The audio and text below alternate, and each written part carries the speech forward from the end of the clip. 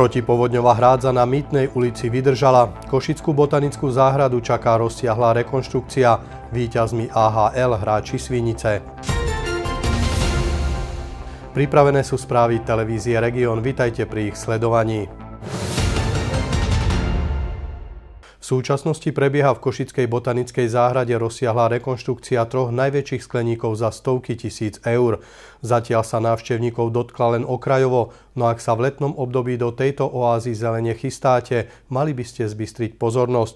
Obnova totiž uzavrie jej brány na niekoľko týždňov. Rekonštrukcia za takmer 410 tisíc je naplánovaná na jeden rok. Obnovou postupne prejdú tri najväčšie expozičné skleníky. Slúžia už takmer 60 rokov, v priebehu ktorých boli vystavené extrémnym podmienkam kvôli interiérovej teplote a vysokej relatívnej vlhkosti vzduchu. V jednom z týchto skleníkov už v súčasnosti prebieha rekonštrukcia. Ide o najväčší skleník eh, Košickej botanickej záhrady, ktorý má 13,5 metra.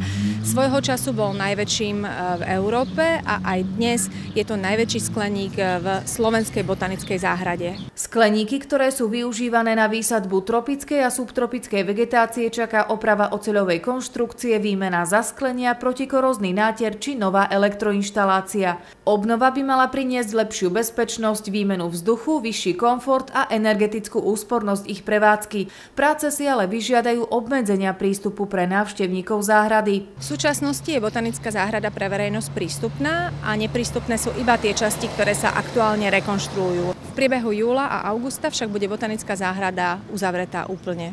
Teda dokonca ju na si v nej ešte môžete oddychnúť alebo pozrieť výstavu exotických motýľov. V Michalovciach otvorili onkologické kompetenčné centrum nemocnice s poliklinikou Štefana Kukuru. Centrum má poskytovať komplexnú zdravotnú starostlivosť pre takmer 3000 onkologických pacientov z Košického a Prešovského kraja. Po komplexnej rekonštrukcii a modernizácii v celkovej investícii za 1,5 milióna eur sa dnes môže toto centrum pochváliť špičkovým medicínskym vybavením, vynovenou ambulantnou aj lôžkovou časťou. Znamená to, že boli kompletne vymenené okná na celej budove, krytina, sociálne zariadenia aj strecha. Výhodou nášho onkologického centra je to, že pacienti celú onkologickú liečbu postupujú v jednej budove, čiže od tej chemoterapeutickej časti, biologickej liečby a radiačnej liečby, všetko je pod jednou strechou. Pacient nie je nútený aj v zlom počasí prechádzať do inej budovy. To považujem za taký jeden z takých najväčších komfortov pre pacienta. Výborné podmienky na to, bo idem kde chcem, papučko, idem na, ne, na nákup si idem, keď tak dá, čo potrebujem. No a tak bežne. Vidíte veľkú výhodu práve v tom, že všetko je vlastne tu pod jednou strechou? pod jednou strechou všetko je. Jak je CT, tak je ona ožia. Dá sa tak povedať, že je to na jednotku. Onkologické kompetenčné centrum v Michalovciach je najstarším onkologickým pracoviskom na Zemplíne. Ročne v ňom liečia a ošetria viac ako 3000 pacientov zo spádovej oblasti vyše 400 tisíc obyvateľov 7 okresov dvoch krajov. Kompetenčné centrum v Michalovciach pôsobí ako spádové onkologické pracovisko, pre všetky nemocnice siete Sveta zdravia, kde sa sústredujú pacienti s nádorovými chorobami na liečbu ožarovaním, na linárnom urýchlovači, ale samozrejme aj na všetku inú protinádorovú liečbu, teda ktorú potrebujú, ako je chemoterapia, moderná biologická liečba či podporná starostlivosť a podobne. Čakacie doby na našom oddelení sa v súčasnosti po zdiagnostikovaní nádorového ochorenia pohybujú do jedného týždňa do začatia onkologickej liečby, čo, pova- čo považujeme za vysoko nadštandardné, pretože sa snažíme tú onkologickú liečbu ozaj začať čo v najkračom možnom čase. Pripomeňme, že nemocnica s poliklinikou Štefana Kukuru, ktorá patrí do siete spoločnosti Svet zdravia, má nemocnicu v prenajme od Košického samozprávneho kraja. Môžem konštatovať, že Svet zdravia si zatiaľ tieto záväzky vyplývajúce zo zmluvy a taktiež zo memoranda, ktoré bolo schválené minulého roku medzi Košickým samozprávnym krajom a Svetom zdravia, si plní a pevne verím, že i taký najvážnejší bod, ktorý v tejto zmluve a memorande je, výstavba nového pavilónu v Michalovciach, že Svet zdravia dodrží svoj záväzok a že v roku 2015 sa začne s výstavbou nového pavilónu v Michalovciach. Podujatia sa zúčastnili aj predstavitelia občianskeho združenia Európa Kolon Slovensko Patrik Herman a Jana Piflova Špániková, ktorí sa dlhodobo venujú o svete v oblasti onkologických ochorení. Patrónkami tohto medicínskeho zariadenia sa stali hráčky hádzanárskeho klubu Juventa Michalovce. Počasie sa konečne umudrilo a mnohí si vydýchli. Vrátane ministra životného prostredia a pracovníkov slovenského vodohospodárskeho podniku. Tí sa prišli v sobotu pozrieť aj na hrádzu na Mytnej ulici v Starej Ľubovni. Ich kroky smerovali v sobotu na ľavobrežnú hrádzu na Mýtnej ulici. Tá pol roka po svojom skolaudovaní ukázala, že milión eur nebol vyhodený zbytočne a minister potešil staroľubovňanov aj tým, že v protipovodňových opatreniach sa bude pokračovať. Už sme chceli začať aj druhú stranu e, rieky robiť, ale počasie nám nedovolilo. Máme tam tiež pripravený projekt za skoro 2 milióny eur, takže by sme chceli aj tú pravú stranu e, urobiť a spevniť a v zásade urobiť všetky protipovodňové opatrenia, ktoré s tým súvisia. A potom ako ďalšiu etapu by sme chceli ešte Jakubianku urobiť za 4 milióny eur. Obyvatelia tejto ulice sú tak radi, že sa nezopakovala povodeň spred 4 rokov, keď voda zaplavila viac ako 80 domov a niekoľko firiem. Neby toho navýšenia hradze, tak máme tu podobnú situáciu, ako sme mali v roku 2010 a nepomohlo by ani vrecovanie. Záchranné zložky, miestne firmy i dobrovoľníci ale boli v strehu aj tentokrát. Hasiči u nás i v Ľubotíne zaznamenali takmer 30 výjazdov. Po piatkovej mimoriadnej situácii na území mesta si ale všetci cez víkend vydýchli. Taký pocit únavy e, a šťastia, ktorý som mal, keď sme tú situáciu zvládli, pretože keď sa začala voda prevalovať cez hrádzu, ten dolnej časti, kde je stará hrádza, kde ešte nebola robená nová, nebolo mi jedno. Rušné chvíle zažíval okrem Starej Ľubovne aj Podolínec za 24 obcí okresu. Platil dokonca tretí stupeň povodňovej aktivity. Voda a vietor narobili poriadnu škodu. Trošku nám komplikovala situácia aj to, že e, most, ktorý je e, budovaný na, e, na mnížku smerom do Polska na Pivničnej, tiež svoje dostal trošku zabrať. A keď sme mali nejaký ten predpokladaný termín na realizáciu a na spustenie mosta október 2014, šťastí sa to bude posúvať. Našťastie prestalo pršať a hladiny riek sa dostali do normálu. A opäť sa potvrdilo, najmä v prípade staroľubovnianskej hrádze, že opatrenia pred povodňou výjdu oveľa lacnejšie ako tie po nej.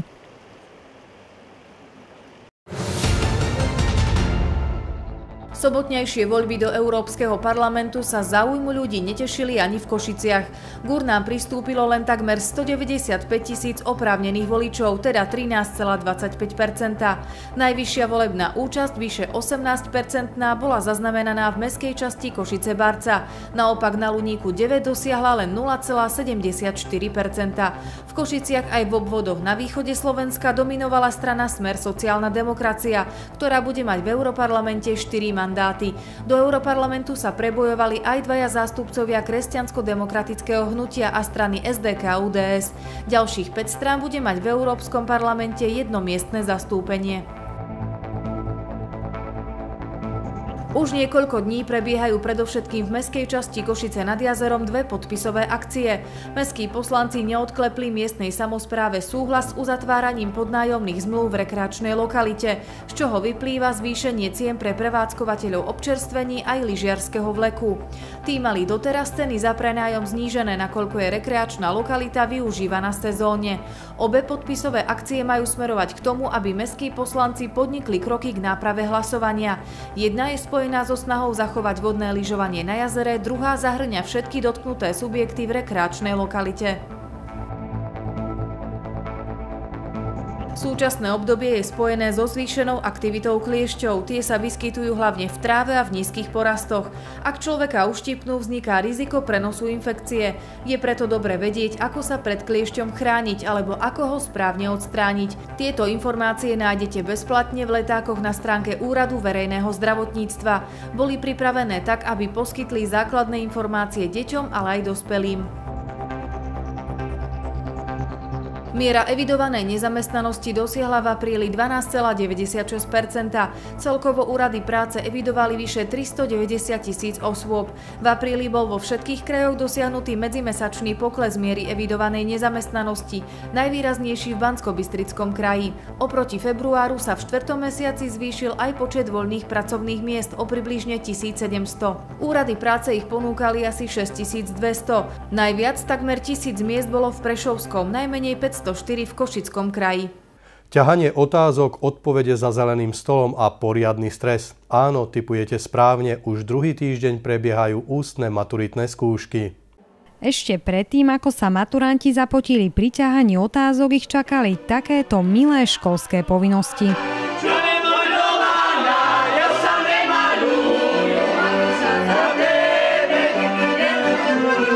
Aj keď sa študenti obchodnej akadémie na svoje odpovede ešte len pripravujú, ostatní maturujú vo veľkom. Štvrtáci na cirkevnom gymnáziu povinne zo slovenského jazyka a literatúry a tiež z cudzieho jazyka. Zvoliť si ešte musia aj ďalšie dva ľubovoľné predmety. Na výber je tak napríklad chémia, matematika či biológia. U nás možno takou novinkou je to, že sme prvýkrát maturovali v novej učebni biológie ktorá sa rok pomaličky zriadovala a už teraz na týchto maturitných skúškach bola zariadená už aj pomôckami, aj interaktívnou tabuľou. Vynovené učebne viac komisí a maturita rozdelená na niekoľko dní. O tom mohli maturanti v minulosti len snívať. Uvedomil som si, že tento rok je to 25 rokov od mojej maturity, čiže isté jubileum.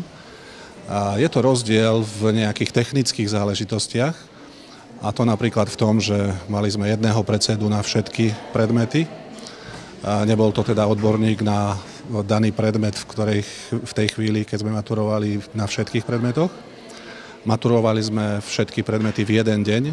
No bol to štvrtok, 29. máj a vtedy sa maturovalo tak, že tie predmety nasledovali za sebou, že sme boli vlastne každú hodinu štyria a odmaturovali sme slovenčinu, potom matematika, potom bol ďalšie, pre ďalšie, tak už si neviem, akom poradi, ale proste sme maturovali za hodinu štyria. Pamätám si, že nebala som sa, lebo bola som dobre pripravená, takže uh, vlastne šla, šla som, ako hovoria naši študenti, že na istotu, takže bolo to, bol to pri mňa taký viac príjemný zážitok ako stresujúci. A ako by si predstavovali súčasní štvrtáci svoju ideálnu maturitu? Keďže vieme, aký je systém nastavený, treba šťastnú ruku a menšiu hladinu adrenalínu v krvi. Možno mm, nejakú príjemnú komisiu, ktorá by možno aj poradila trošku a Hlavne to je o tom šťastí, vytiahnuť si dobrú tému. Maturitu majú síce za sebou, ale čo ďalej? Myslím si, že je dosť slabé uplatnenie ako po strednej škole, čo sa týka ako nás. Teda buď chcú, keď nechcú ísť na vysokú školu, je to dosť problematické, čiže asi iba to zahraničie. Intenzívne prežívajú ústnu maturitnú skúšku aj gymnazisti na bilingválnom slovensko-španielskom gymnáziu Park Mládeže v Košiciach, ktoré je jediné na východe Slovenska. Aké to je maturovať z chémie či matematiky v španielčine? Možno vás to prekvapí, no podľa študentov jednoduché. Španielské bilingválne sekcie sú zriadené na základe medzivládnej zmluvy. To znamená, že maturitné skúšky prebiehajú trochu inak ako na iných bilingválnych sekciách, ktoré túto medzinárodnú zmluvu nemajú. Je tam iná komisia ako treba z klasických, ktorá e, napríklad tejto komisie inšpektor z Madridu, ktorý je členom maturitnej komisie, každoročne prichádza. Takisto je pridelenkyňa pre vzdelávanie na španielskom veľvyslanectve a študenti maturujú povinne zo španielského jazyka, literatúry a kultúry. Študenti si ešte zvolia jeden z predmetov, a to buď matematiku, chémiu, fyziku alebo biológiu, v ktorom maturujú po španielsky. Zaujímavé aj to, že oproti iným klasickým teda školám, oni maturujú v úrovni C1, to je podľa Európskeho referenčného rámca, pričom klasické triedy maturujú v úrovni B2, čo je samozrejme, že nižšia úroveň. Najčastejšie siahnu po matematike, zaostáva fyzika. Závisí to od vyučujúceho pedagóga. Aj tu platí istý systém. Títo učitelia sú rodení Španieli, ktorí urobili konkurs e, na ministerstve školstva v Madride a teda my ich tu dostávame na základe medzivládnej zmluvy. Takže tí učitelia sa striedajú, oni majú misiu, ktorá trvá 6 rokov a po tých 6 rokoch musia odísť. S úrovňou vedomostí študentov som nadmieru spokojná. Zastupuje ministerstvo školstva v Španielsku a veľmi ma teší, že môžeme spolupracovať s bilinguálnymi gymnáziami na Slovensku. A ja môžem úroveň a priebeh maturít len pochváliť. Španielskú chemiu. Je troška iný, a ten spôsob učenia, myslím, že máme, sme zameraní menej na teóriu a viac na, na príklady ako v slovenskej chemii. Pre mňa osobne je matematika španielská ľahšia ako tá slovenská, lebo vlastne máme väčšiu voľnosť počítania príkladov. Vlastne môžeme používať rôzne formy, nie sme tak striktne naviazaní na, na vlastne tie formulky. Po 5 rokoch na tomto gymnáziu jednoducho nie je problém zmaturovať, naozaj si myslím. Ústne maturity sa na jednotlivých školách konajú v odlišných termínoch, a to až do 6. júna. Dátumy určujú odbory školstva na obvodných úradoch. Takmer polovica Slovákov nemá prehľad o svojich výdavkoch a viac ako tri štvrtina nie je schopná si vytvárať dostatočnú finančnú rezervu. Aj to sú výsledky prieskumu nadácie Partners, ktorej odborníci vám v nasledujúcej reportáži poradia, ako dostať svoje výdavky pod kontrolu. Prieskum finančného správania Slovákov poukázal na nedostatočnú disciplínu pri nakladaní s peniazmi. Tretina mesačne neušetrí nič a len polovica domácností má prehľad o tom, koľko za mesiac minie. Viac ako 85% slovenských domácností si nevytvára absolútne žiadnu finančnú rezervu alebo ju vytvára v nedostatočnej výške. Minimálne 6 násobku mesačných výdavkov. To je taká, taká optimálna rezerva. Na tú by sme mali siahnuť len v prípade nečakanej udalosti, napríklad strat straty zamestnania alebo choroby. Domácnosti bez nej sa môžu v takomto prípade ľahko dostať do existenčných problémov. Ľudia to potom riešia rôznymi pôžičkami, nákupmi na splátky, úvermi v banke a podobne. Avšak to je len začiatok mm, nejakého vstupu do dlhovej špirály a dlhovej pásce. Aby sme sa jej vyhli, je podľa odborníkov na financie dobré odkladať si aspoň 10% z mesačného príjmu. Najlepšie na samostatný sporiaci účet a nepodliehať nákupným hriechom, napríklad spontánnemu míňaniu míňaniu často pod vplyvom reklamy, výmene ešte funkčného za nové alebo plateniu za služby, ktoré si dokážeme urobiť aj sami. V dnešnej dobe je veľmi jednoduché, aby si človek kúpil niečo na splátky alebo, alebo na pôžičku, ale tu si treba uvedomiť, že vlastne si kupujem niečo, na čo nemám, zadlžím sa a častokrát sú to tovary krátkodobej spotreby. To znamená, že ten tovar už mi buď ani neslúži, je zastaralý, ale ešte stále a častokrát aj niekoľko rokov po jeho životnosti splácam úver alebo pôžičku, ktorú v konečnom dôsledku neuveriteľným spôsobom preplatím a častokrát nakoniec mi môže výjsť to, že som mohol mať tri normálne veci za to niečo, čo mi ani neslúži. Predísť takýmto situáciám sa vraj dá krotením výdavkov. Pomôcť môže ich plánovanie vytváranie nákupných zoznamov s určeným rozpočtom či eliminácia pôžičiek na to, bez čoho sa vieme zaobísť. Odborníci radia, že pred kúpov je dobré nechať si vychladnúť hlavu a zodpovedať kritické otázky, či to, čo sa mi páči, aj naozaj potrebujem, využijem alebo len chcem. 90-minútový program je zmesou toho najlepšieho, čo deti Michalovských škôl dokážu. Ucelené pásmo tentokrát vzdáva úctu mestu Michalovce pri 770. výročí prvej zmienky o jeho vzniku. Mladšie i staršie deti sa predstavili modernými i ľudovými tancami, popredkávanými hovoreným slovom. So svojím programom vystúpili aj deti zo spriateľených miest Českej republiky a Poľska. V záverečnom defile pozdravil účinkujúcich hostí i hľadisko primátor mesta William Záhorčák.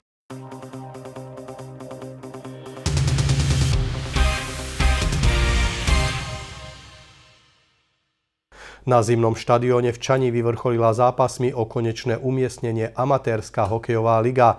V nej sa v tejto sezóne predstavilo 13 mužstiev. Vo finále proti sebe nastúpili hráči Svinice, ktorí obhajovali majstrovský titul proti mužstvu Sokoľany. Majstrovský pohár napokon získala Svinica po jasnom víťazstve 7-2. Bola to taká jednoznačná záležitosť, ako ukazuje výsledok? E, to určite nie. Ako zo začiatku to bolo úplne vyrovnané potom sa to už e, asi v polovici zápasu začalo trhať. No tak zvyšili sme ten náskok na 3-2, 4-2, no a e, tie ďalšie góly boli už v úplnom závere. Do amatérskej súťaže sa zapojilo 13 mužstiev. Vekové rozpetie tvorili hráči od 16 do 55 rokov. Tretí ročník sa definitívne bude hrať. E, pribudlo nám mužstvo Valaliky B a pravdepodobne nám pribudne ešte jedno mužstvo a to bude mužstvo Igora Libu. Hráči Libovej akadémie pod vedením majstra sveta a strieborného olympijského medailistu by mali znamenať zvýšenie kvality i atraktívnosti tejto súťaže. Ja si myslím, že nás e, zoberú k sebe a že to bude len prospešné pre tých chlapcov, ktorí hrajú v Liba Akadémii. Zimný štadión v Čani bol otvorený v decembri 2012. Za pomerne krátky čas si vybudoval dobré meno medzi amatérskymi i profesionálnymi hráčmi z tohto regiónu. Prišli sem aj rozhodcovia, ktorí niekedy pískali najväčšiu hokejovú lígu. Hej, prišli sem rodičia, ktorí niekedy hrali hokej a donesli svoje deti. Takže pre nás je to veľká výzva a tá Akadémia Libu, si dovolím povedať, otvorila na tento štadión širokej verejnosti dvere a hlavne deťom, kde vedia vyrásť hokejové talenty. Spolupráca s Juventusom Turín je snom mnohých mládežnických futbalových tímov. Jedným z nich je aj Košický Galaktik, ktorý v metropole Východu hostil funkcionárov tohto talianského veľkoklubu. Juventus Soccer School nasce per dare l'opportunità al maggior numero di bambini e bambine di giocare in bianco-nero secondo le metodologie Juventus. Eh, Juventus vlastne dal možnosť hrať eh, mnohým deťom eh, vo svojich biel, čierno-bielých farbách a mohli tak, to je hlavná filozofia, aby si čím viac detí zahralo v čierno-bielých farbách. Futbalový kemp košických hráčov od 7 do 16 rokov je pokračovaním ich snaženia z minulého roka. Allora, abbiamo scelto Cosice soprattutto e principalmente perché il nostro partner è, ci ha proposto questa città Zvolili sme si Košice predovšetkým preto, že náš partner pochádza z tohto mesta. Abbiamo scelto di partire di qua perché è una città con tanta storia e come dicevo prima ci crediamo veramente con tanta cultura e con tanta voglia di fare sport ad alti livelli.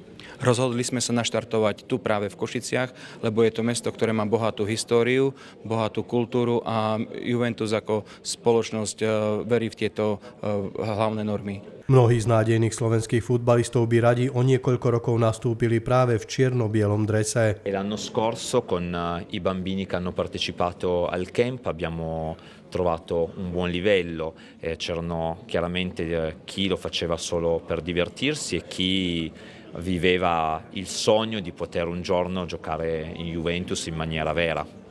Minulý rok sme tu prišli a boli sme veľmi spokojní s Livelom, aký bol nastavený.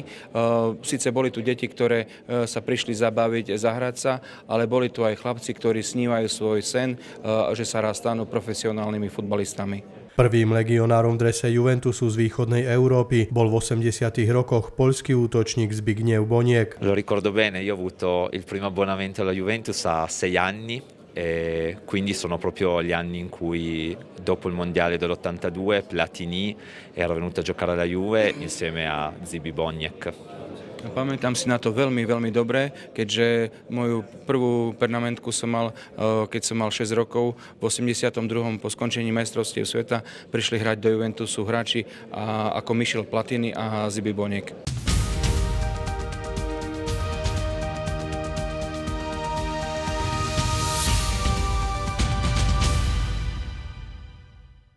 Vítajte pri predpovedi počasia.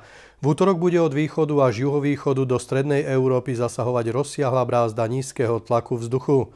Noci má byť prevažne oblačno, miestami prehánky alebo búrky, ojedinele aj intenzívne. Najnižšia nočná teplota 16 až 10 stupňov. Slabý premenlivý vietor pri búrkach prechodne zosilne. Cez deň bude premenlivá prevažne veľká oblačnosť, postupne početné prehánky a búrky, ojedinele aj intenzívne s krúpami. Najvyššia denná teplota 20 až 26, na horách vo výške 1500 metrov okolo 13 stupňov. Fúkať bude slabý vietor. V stredu od východu bude zasahovať nad strednú Európu brázda nízkeho tlaku vzduchu. V noci má byť prevažne oblačnosť s teplotami 15 až 9 stupňov. Cez deň postupne na viacerých miestach dážď alebo prehánky, miestami aj búrky. Denná teplota vystúpi na 19 až 25 stupňov. Prevažne juhozápadný vietor do 20 km za hodine pri búrkach prechodne zosilne. To je odo mňa v tejto chvíli všetko. Dovidenia.